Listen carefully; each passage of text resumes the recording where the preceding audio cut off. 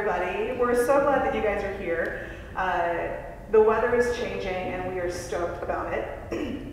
I have a, a, few quick housekeeping things for our high noon programming. Uh, today we're joined by Dr. Emily Arendt, which I always love her presentations. I'm really excited to, to hear what she has to share with us today. Uh, we only have one high noon left on our schedule.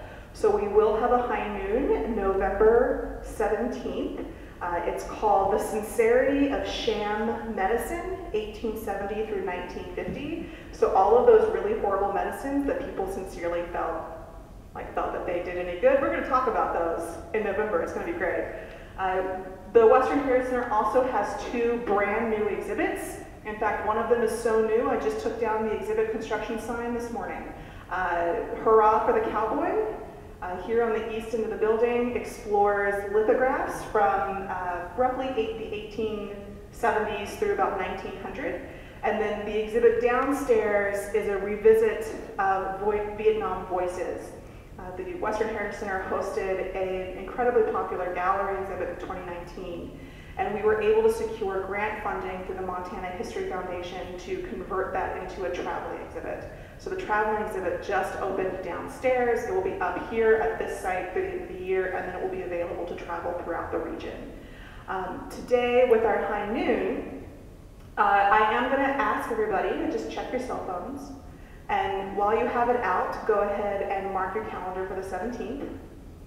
And shortly after the 17th, uh, we are hosting our, we are bringing back and hosting our holiday play at Palooza for families on December 3rd. So if you have, uh, have children, know of young children, we've got crafts and games and music and Santa. Um, so Santa will be here and he will even read us a story. And uh, I'm excited about my face painting. Uh, so that will be December 3rd. Uh, the season is winding down, and so we are going out with a bang and really being intentional to schedule the best programs in October, November, and December. Uh, which brings me to Dr. Arendt. So uh, Dr. Emily Arendt is a professor of history at Montana State University here in Billings, uh, and has visited with us several times. Her area of research includes uh, political culture in early America, food history, and the history of women, gender, and sexuality in the United States. Uh, today, she's sharing with us about uh, women's issues in local and national politics, uh, specifically new perspectives on the events surrounding the women's conferences in 1977, when the first federally funded national meeting on women's issues was held in Houston, Texas. Uh, so please join me in welcoming Dr. Arendt. Thank you.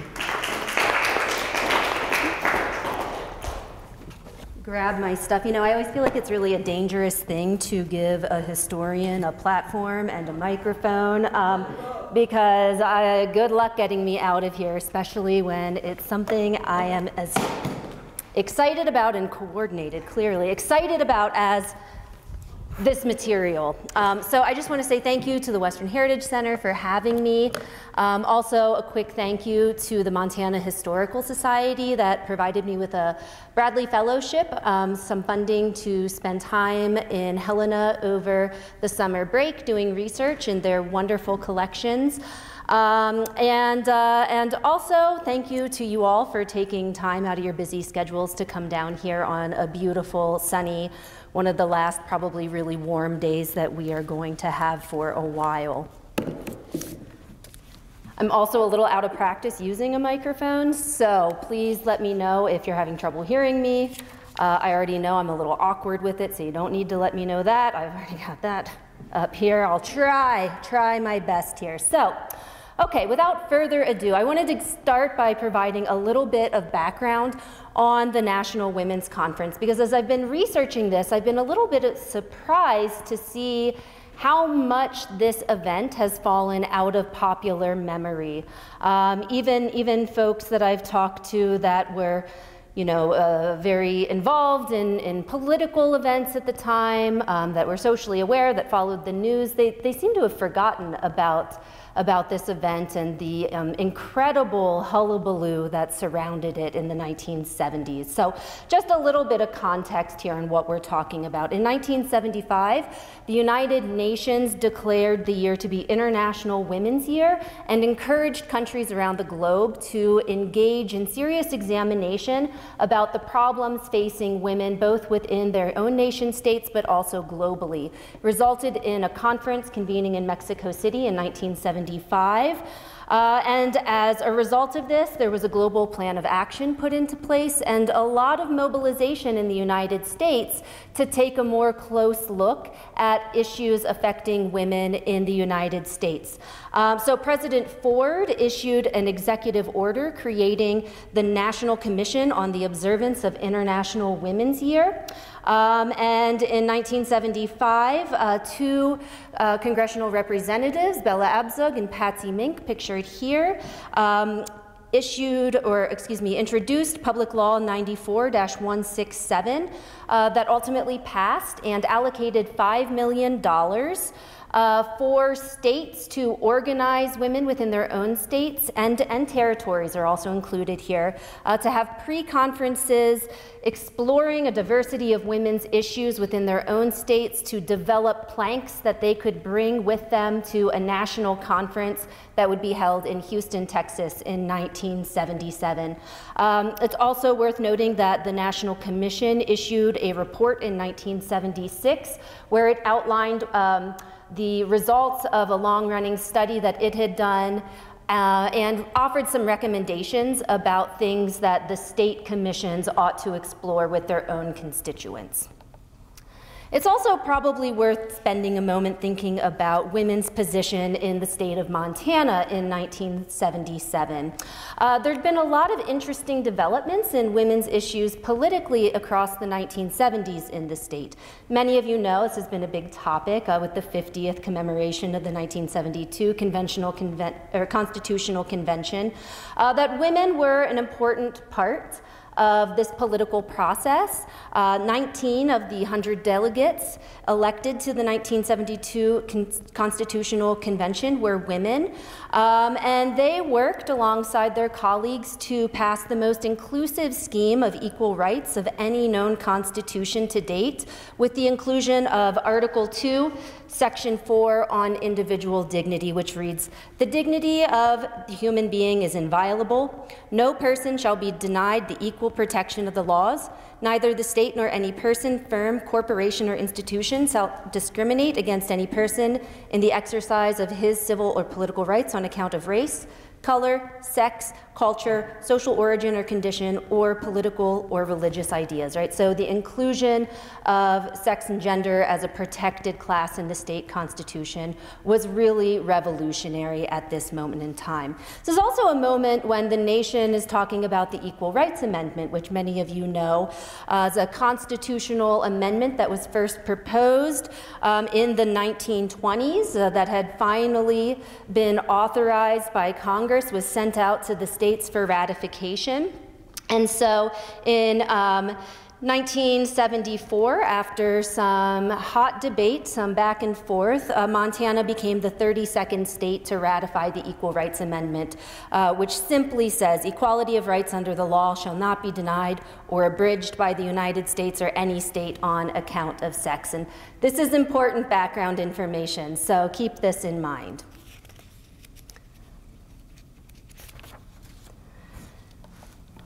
The 1970s in the state were also a period where women were really coming into their own politically on the state stage. Uh, growing female representation in the 1970s in the state legislature is particularly noteworthy. Um, from very few women in the state legislature in the 1950s and 60s to nine women in 1973 and 14 women in 75 and 77. Um, it also sparked the creation of a Montana Women's Political Caucus, an organization of those women legislators uh, who worked to reform Montana's laws and to erase sex discrimination. Dorothy Bradley, uh, pictured here, said the need for more women in the legislative process is a serious one because the number of issues which lie in the realm of women. The issues are dealt with by the legislature at a time when it is only outdated tradition that has made men the decision makers.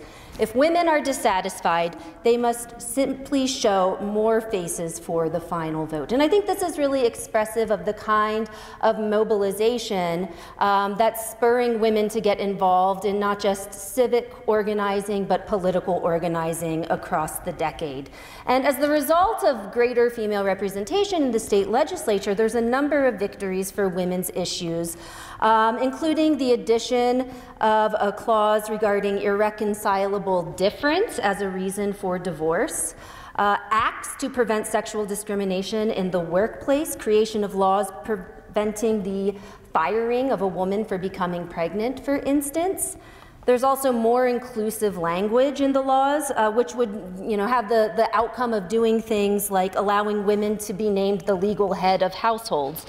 Uh, and there's also some legislative reforms that prohibit institutions from denying women credit. So a lot of movement towards greater social and economic equity for women as the result of all of this. Now, I should also point out that not all the women legislators in the state in the 1970s are part of this kind of progressive, liberal, reform-minded um, you know, cohort. Uh, there's some, including Betty Babcock, who, um, whose husband had been governor in the 1960s.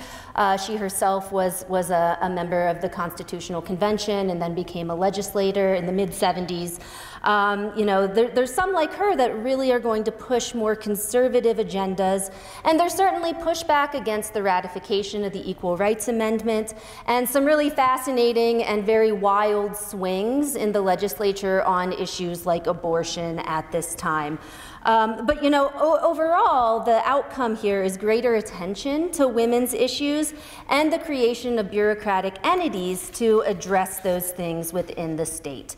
So this is, this is sort of the context in which um, the International Women's Year is arising. And so Montana's commission um, is going to, to be created and began meeting in December of 1976 in order to plan the state conference. Mary Munger, who is perhaps best known as the longtime director of the Montana Nurses Association, uh, was appointed chairman of the Montana International Women's Year Coordinating Committee, uh, which is a total mouthful, so I will probably just be saying the, the Montana Coordinating Committee. Um, they received $25,000 from the National Commission to plan the state conference uh, to try to develop a structure that's going to work for the state um, and to, to create the kinds of regions that will allow for constituents all across the state to feel like their voices are being heard. Um, so the Montana regions, there's six of them that they establish, have a, a set of objectives, and they're going to have their own regional conferences um, in order to inform Montanans about the International Women's Year and related activities, to assess the current status of Montana women, to identify common concerns among Montana women and to make recommendations to the state meeting. There's going to be a concerted effort made by the state uh, to publicize the proceedings of the regional conferences and to raise awareness about what potential issues are facing women in the state to try to drum up support and greater participation at those regional conferences. Um, so one of the most interesting things that happens is Rosemary Zion, uh, an attorney, was commissioned by the Center for Women Policy Studies in Washington, D.C. in coordination with the National International Women's Year Committee um, to publish a booklet on the status of homemakers in the state. Uh, this is linked to, to a variety of things, and, and this um, booklet's going to consider both the real progress which Montana women have made through the new legislation in recent years, and equally the real economic considerations which still threaten the security of too many women. Uh, those are Zion's words.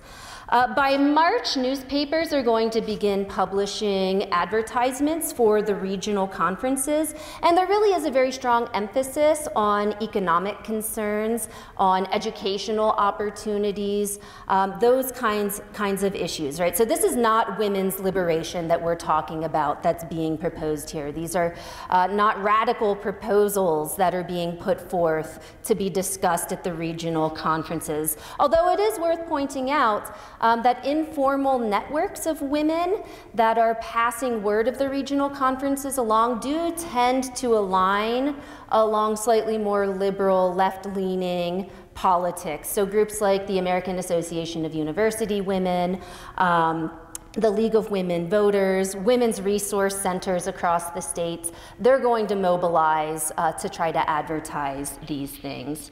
Um, we're also going to see that locally flyers are posted, posters are created. Um, there's, there's really a strong concerted effort actually by the state organizing committee to reach out to a broad diversity of Montana women um, because they really do want representation across different demographic lines within the state. And actually this is one of the requirements of the national conference itself that when um, the state conventions elect delegates to represent their states, that they roughly reflect the diversity in terms of, of, of race, ethnicity, religion, um, you know, class structures, all of those kinds of things. They really want a very inclusive delegation to be representing states at the national convention. The regional conferences, by all accounts, were, were total successes. Um, there was a great mixture of camaraderie and entertainment and business. So these, these first two images here are both from Miles City um, and demonstrate, uh, according to the, the captions of the photos, a little bit of fun and a lot of business. So they would do things like hold um, belly dancing workshops to try to build this sense of, of community amongst the participants. Um, but then the workshops really got down to the business at hand. And so this picture from Miles City is a workshop of women discussing issues related to banking and credit for women in the state. Um, there's also going to be talks delivered on topics like women's status globally, uh, the history of women in Montana. Um, in Great Falls, Rosemary Zion actually delivers a very well received lecture based on her publication on the status of homemakers in Montana. Um, other conferences bring in really wonderful keynote speakers. There's a, a British documentary filmmaker that did a, a very well received documentary on the United Nations that came. Um, but again, you know, the focus is really on things like, like questions of education, women in agriculture, the status of homemakers, the status of widows in the state, uh, all of those kinds of things. Um, there's also, again, this, this really strong outreach to different demographic communities within the state to try to garner participation. Um, and there is a lot of a lot of concern to the inclusion of, of working class women. Many of the regional conferences offer free um, housing, for instance, or free childcare. Uh, again, to try to really craft an inclusive environment. Well, since we're in Billings, I thought it was worthwhile to talk about the Billings Regional Conference, which was held here um, on the campus of Rocky, uh, and was probably about the most well attended of any of the regional conferences in the state. Uh, very much like the other regional conferences, it hosted a variety of workshops that allowed participants to discuss and debate the issues at hand and to develop resolutions about actionable items that they would then forward to the state committee for discussion at the state conference. The keynote speaker here in Billings was Belle Winestine, um, who the Gazette called no modern libber. I love this phrase. Um, but she was a, a really long running advocate for women's rights in the state. Um, she had served as an aide to Jeannette Rankin in 1917 when Rankin became the first woman to serve in the United States House of Representatives. Uh, she was an ardent suffragist and a proponent of the Equal Rights Amendment. The Billing Gazette describes her as she's getting ready to deliver her keynote, dressed in a red knit suit with gold ribbon in her hair and a gold scarf around her neck. She talked about her long battle for women's rights and why it's important for women to have a seat at the table. She said it isn't that women see any more clearly than men, but that they're more impatient to get things done once they see what is wrong. Now, while she was promoting the Equal Rights Amendment in her keynote address, she elaborated on some of the growing criticisms that the National Women's Conference was beginning to incite from conservatives, both in the state and nationwide. She said, I'm hearing the same arguments now as I heard in 1914 from the people who opposed suffrage. All the talk about the family going to the dogs and the home falling apart. Women's voting rights didn't destroy the family. Equal rights for women won't either. Um, and I'll just say, I really, I love this image. Um, I don't know what they're doing here, but I want to be hanging out with them. So Belle is pictured uh, with Fran Elge. Here's a prominent attorney and judge in the state and also a longtime advocate for the Equal Rights Amendment. Now, it's this issue of the Equal Rights Amendment coalescing with a couple of other developments at the national scale that are really going to shift public tone regarding these proceedings. Um, so in late March of 1977, President Jimmy Carter reconstituted the National Commission on the Observance of International Women's Year and named Bella Abzug its chairperson. And I don't know if anybody here knows that much about Bella Abzug besides John, who knows quite a lot and sort of cued me into some of this. Uh, she, is, she is one of the most divisive political figures on the national stage at this time.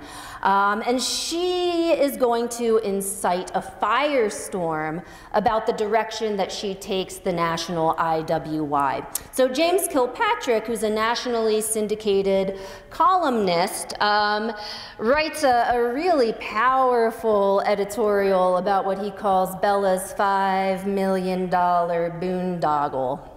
He claims to see an ulterior purpose behind the International Women's Year. He says this is not just about assessing the status of women and barriers to participation in public life. Instead, he says, this is a quote, this commission will be spending our money in a desperate last ditch lobbying effort for the pending Equal Rights Amendment. He charged the commission with political partisanship, extreme liberalism, and most damning, an illegal diversion of public funds to promote the ratification of a constitutional amendment. Now, although the editor of the Great Falls Tribune, where this was published in the state, um, challenged some of those, those uh, those things that Kilpatrick said. Um, this is going to really create a new discourse about the state's participation in the National Women's Convention. Um, in fact, by early June, the state had formed a chapter of the Citizens Review Committee for IWY, which will release um, a press release that charges the Montana State Committee with misusing federal funds to support the Equal Rights Amendment and abortion on demand.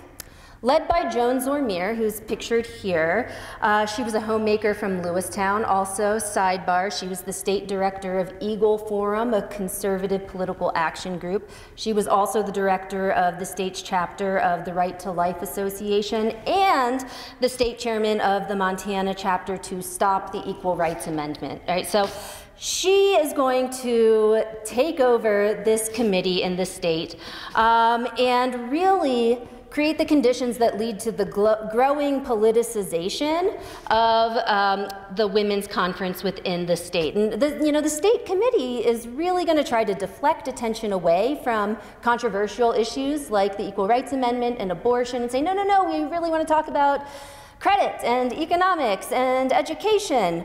Um, but Zormier is going to echo Kilpatrick's claim that the committee is biased and corrupt um, and really challenge the use of taxpayer dollars to finance pro ERA positions. And as evidence for this, anybody want to guess? What do they see as the most damning piece of evidence that the state committee has an agenda the keynote address delivered in Billings by Belle Winestine. Right, without any opposing points of view being offered, they're going to say this is federal funds being used to promote partisan positions, and this is grossly immoral and illegal. Um, so she is going to further push these issues to not just include the promotion of the Equal Rights Amendment, um, but she's also going to look at the IWY's national report for endorsing the Supreme Court's recent decision on Roe versus Wade regarding abortion. In an editorial in Helena's Independent Record, she says, This is truly shocking. Federal funds, our own hard earned tax dollars, are being used to promote the killing of unborn children. Now, all of this is happening, uh, but the Montana International Women's Year Committee is going to again continue to highlight all of the positive things, uh, promote inclusivity. Um, they're going to continue preparations for the state convention, developing workshops on women's health care, employment, education. Yes, there is one that they're developing on the Equal Rights Amendment, but they say that's not the focus, that's not the central purpose.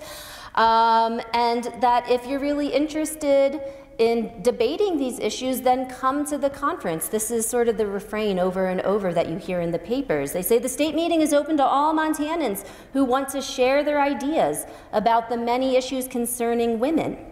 The only viewpoints that end up excluded will be the viewpoints of those Montanans who choose to exclude themselves by not attending the meeting. Uh, now, despite attempts of the Central Committee to reach out to various demographic groups, um, there is also, aside from this kind of conservative backlash, uh, growing concerns from working class women, rural women, Native American women who feel grossly unrepresented by the state's Central Committee, which they see as middle class, liberal, and very white. So, a group of Native American women planned a caucus to be held the day before the state conference began in Helena. Uh, Myrna Smallsalmon, pictured here, was the caucus coordinator, and she noted that Indian women in Montana are unique because we realize that our problems cannot be fused into resolutions that will be drawn up by our non Indian peers. Now, the Indian Women's Caucus also worked with the Montana Migrant Council to try to recruit Mexican American women, as well as reaching out to black women across the state, um, again, to ensure that minority and working class women were adequately represented at the state conference. So, despite the attempts of the state committee to reassure people that this is not a foregone conclusion, that all voices are welcome, that this is not a concerted effort by women's libbers to sneak the ERA in uninvited. Um, that's where public conversation on the issue continues to go. And, um, you know, internally, the state committee is really, really worried about this. I actually found some, some fascinating internal communications where they are listing all of the people that they know have been contacted by Joan Zormier. Um, they are circulating the propaganda, which is often coming into the state from national organizations um, like Phyllis Schlafly's Eagle Forum that's being amplified in public discourse more locally.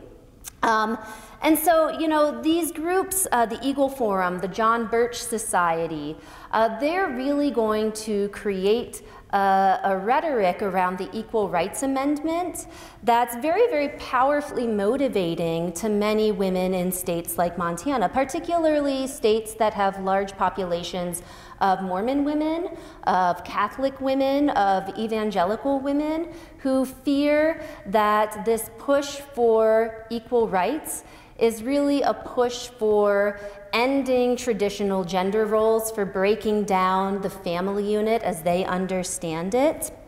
Um, and so increasingly, the propaganda against the International Women's Year in the state um, is, is going to focus on you know, what exactly is wrong with the ERA? That it would for force women to register for the draft, that it would force women to use unisex bathrooms, um, eh, but also increasingly that this is part of a broader liberal campaign to force things like abortion and homosexuality on the constituents of states like Montana. Um, there was an audio cassette that was recorded by an Oklahoman woman named Diane Edmondson. Uh, that began to circulate within the state of Montana. I don't know how many, but I'm assuming dozens of copies of this cassette recording were made and sent all around, um, particularly through groups like the Eagle Forum and the John Birch Society, uh, as well as women's auxiliaries to, um, to the, the Catholic Church and the Church of Jesus Christ and Latter-day Saints.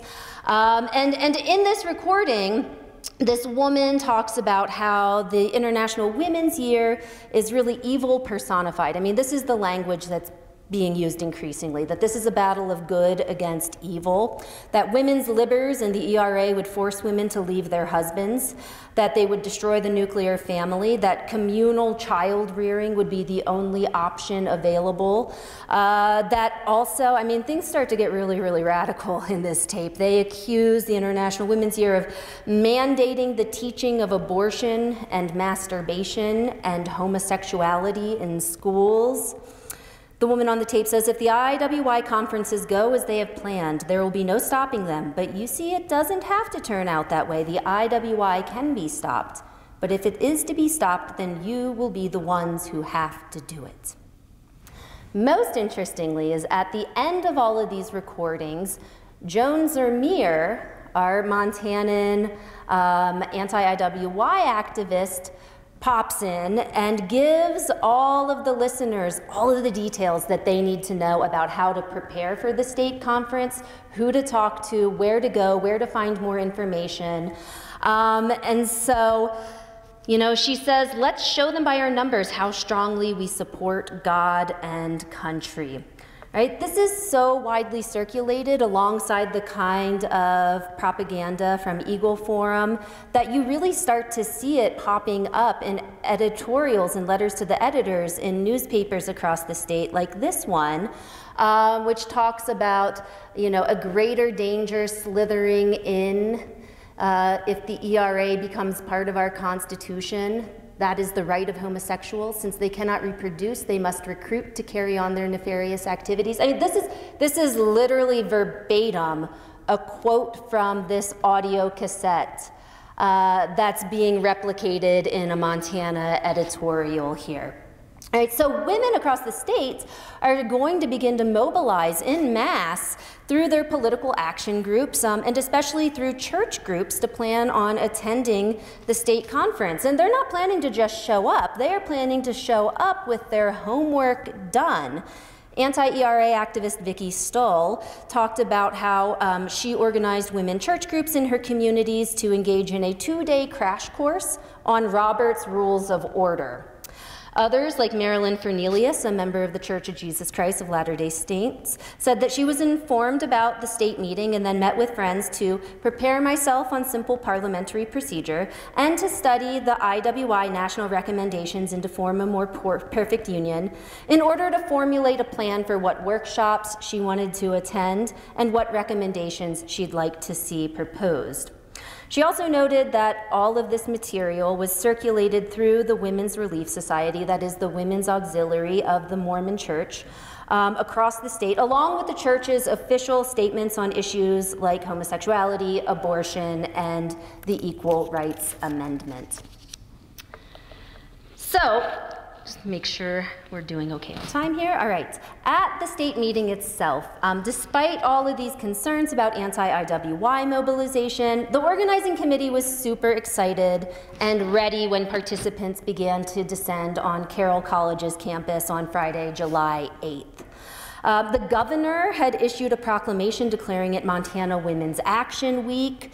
Uh, and as the day proceeded, women were really just coming in from all over the state. There was a palpable excitement in the air, and everybody got prepared to attend the opening business session following a glowing opening address by Lieutenant Governor Ted Schwinden. Now, as the business meeting unfolded on Friday afternoon, it quickly became very, very clear that this was not going to be a procedurally simple approval of the rules as was moved by Vice Chair Mary Hempelman.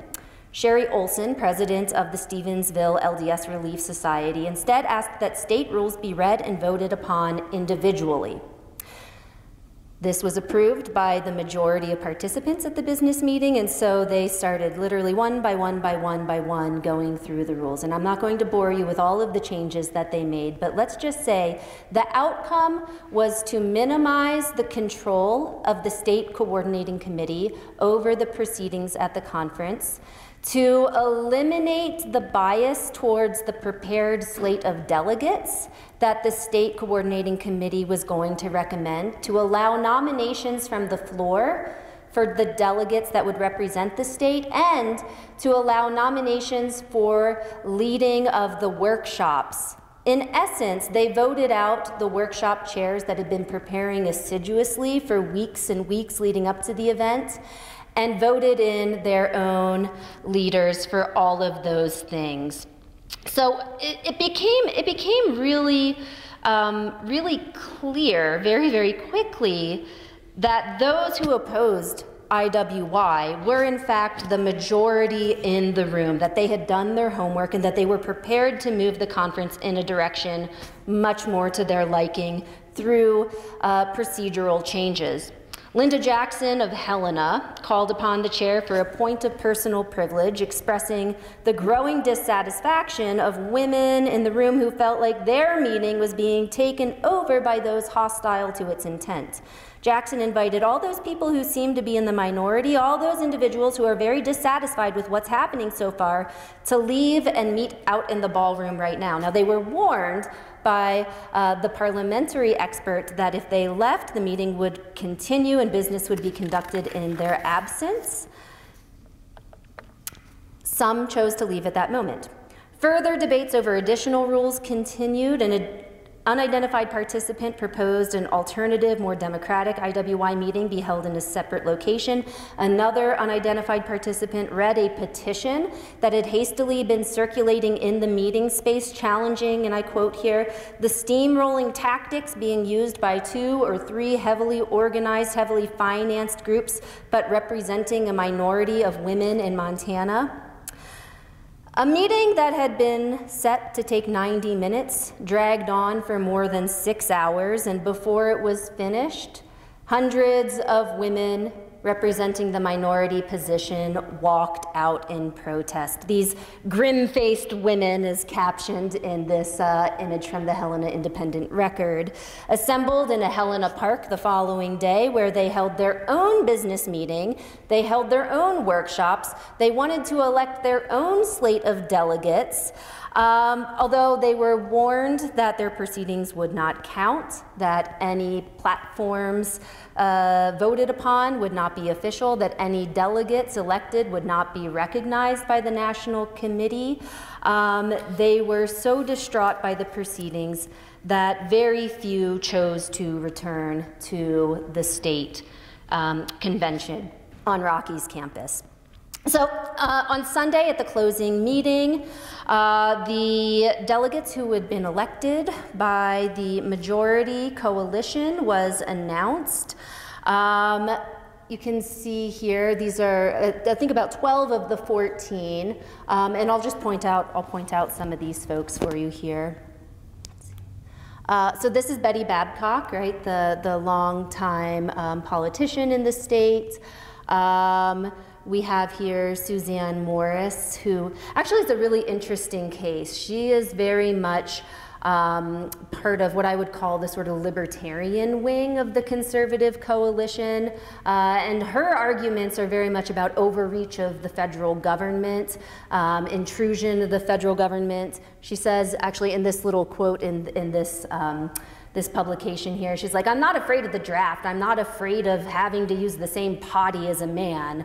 She's like, I'm afraid of the government getting involved in my life. Um, so uh, uh, many of these women, though, are um, much more religiously conservative. Marilyn Daigle here is one of the, the Mormon representatives who's elected.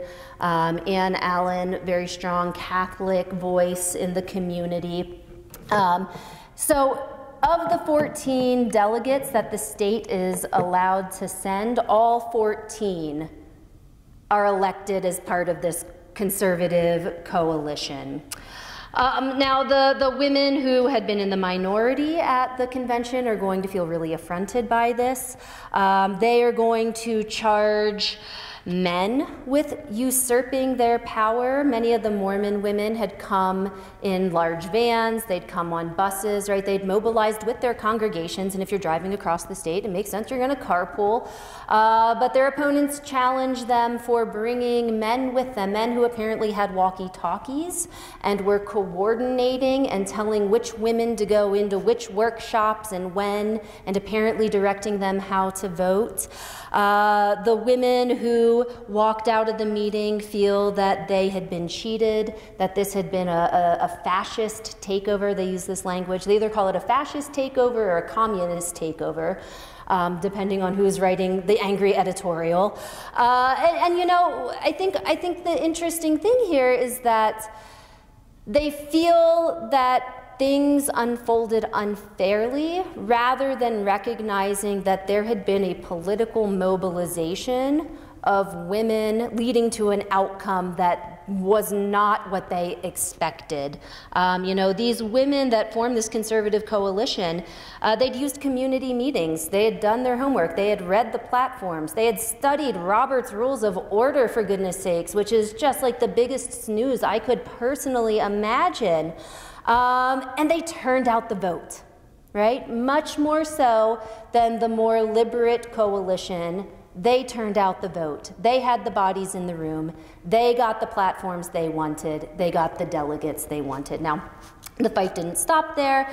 Um, the angry minority opposition posted editorials. I mean, my very unofficial search in four or five Montana newspapers yielded no fewer than 40 letters to the editor in the two weeks following the state meeting, uh, at least another 70 in the weeks leading up to the national conference, right? And that's just in like four or five newspapers in the state.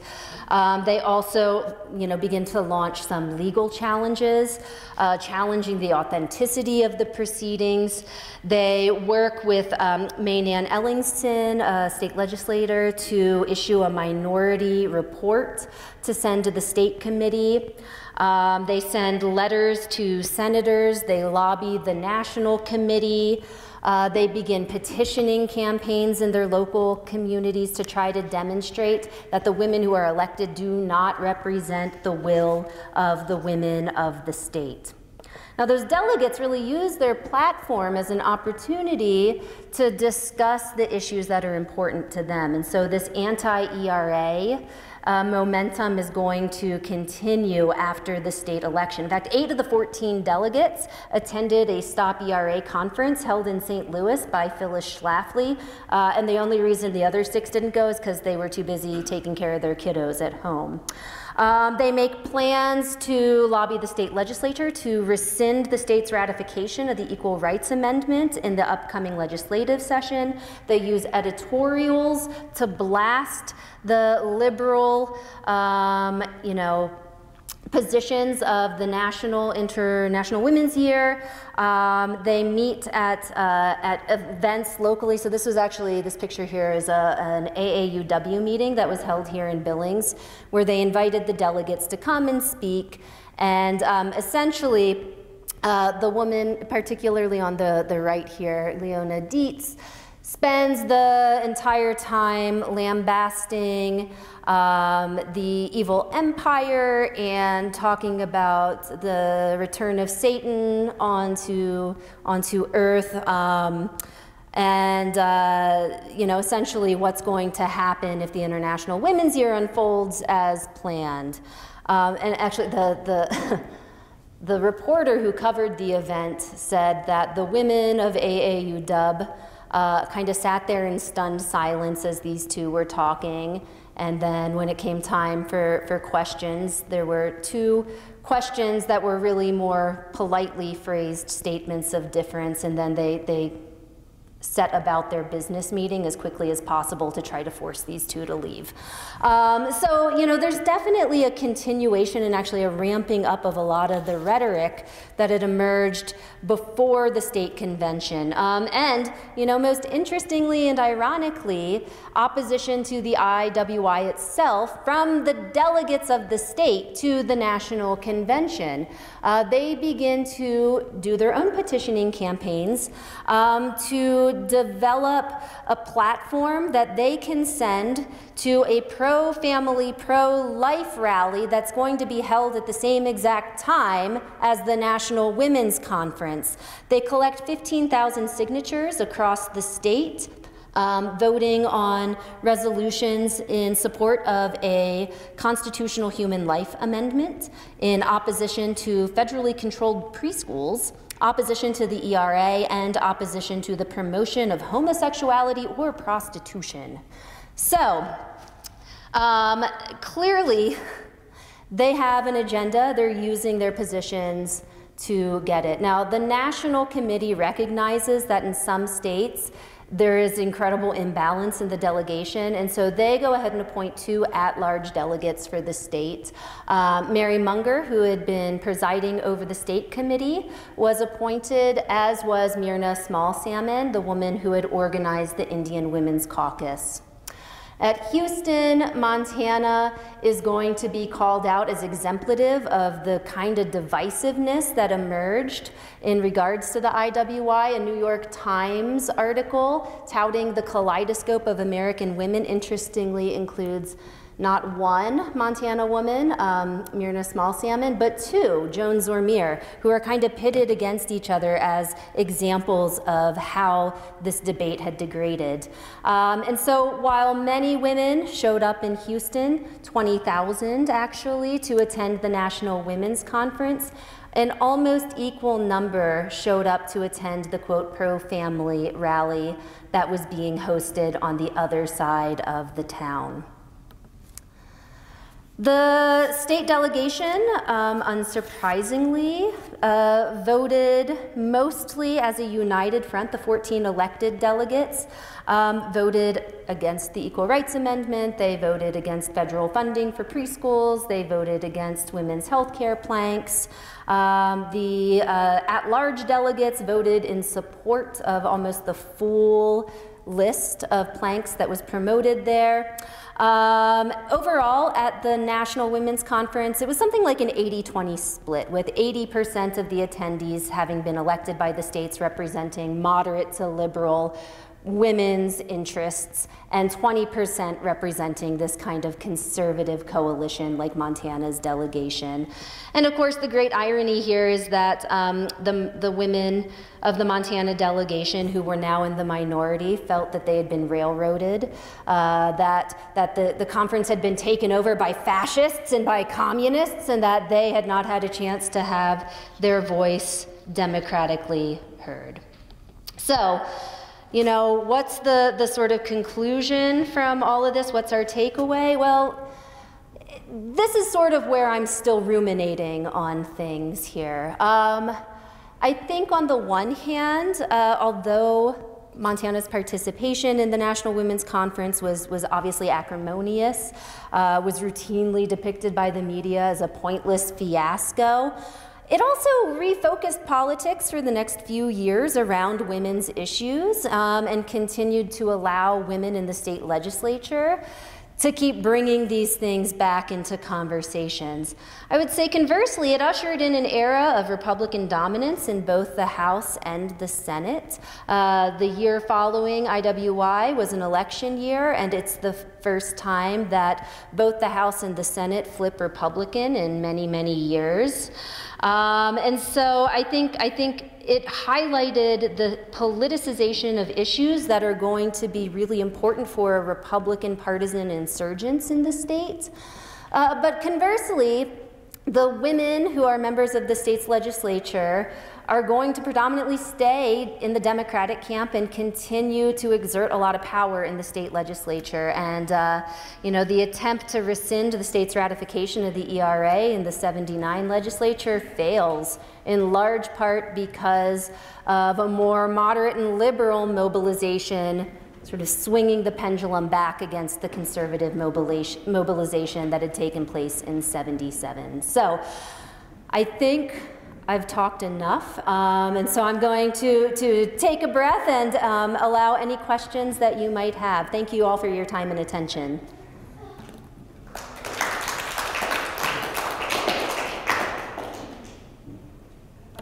Yes. Um, have you seen or, or, was there evidence of any other state that had a takeover mobilization, like in Montana?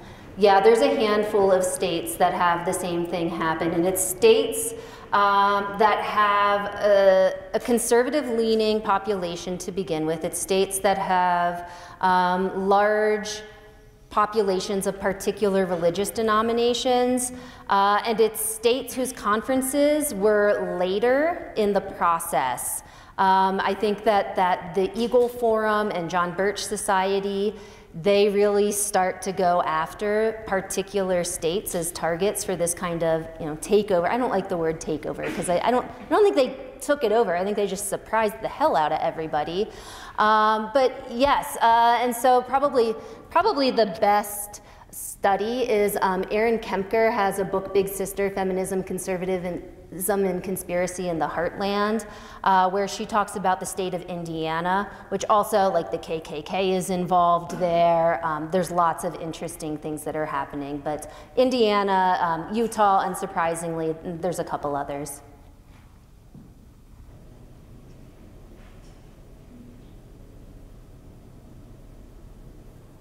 Nobody? Okay, well, I'm not going to stand here awkwardly, uh, any more awkwardly than I am with my awkward microphone, but I'll, I'll just simply say thank you um, to you all for coming out this afternoon, and uh, I really appreciate it.